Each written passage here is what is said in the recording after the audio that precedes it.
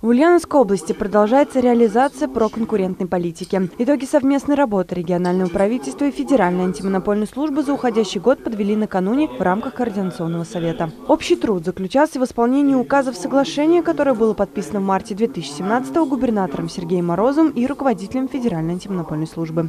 Соглашение с Ульяновским регионом носит отличие в том, что э, в 3-4 раза больше мероприятий в нем было да, задействовано, и мы их выполнили практически все абсолютно.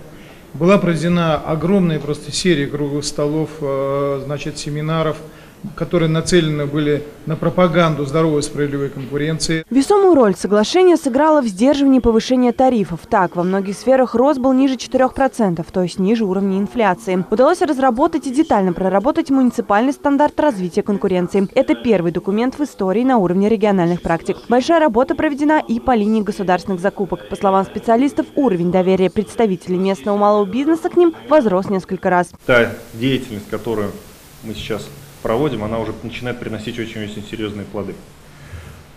Задача развития конкуренции, внедрение опыта бизнеса, ресурсов бизнеса, а, компетенций бизнеса в исполнении тех в том числе и государственных полномочий, ну, развитие новых рынков для нас является приоритетом. Активное участие в работе Координационного совета принял заместитель руководителя ФАС России Сергей Пузыревский. Федеральный эксперт посещает регион за последние полгода вот уже второй раз. Мы говорили в прошлый раз о том, что нужно сокращать количество ГУПов и МУПов, и такие решения в области принимаются. Это важно. Значит, нужно посмотреть последствия, э, которые связаны с э, предпринимательской инициативой, активно стимулировать э, развитие конкуренции на товарных рынках, я думаю, что первый результат уже есть.